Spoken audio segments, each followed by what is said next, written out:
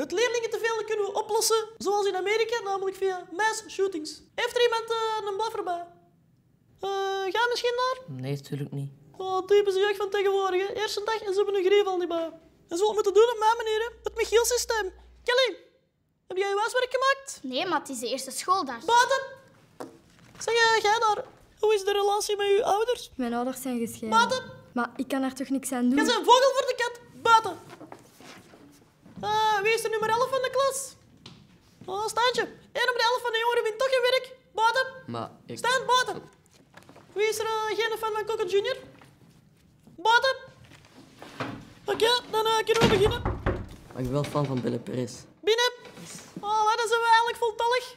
Welkom in.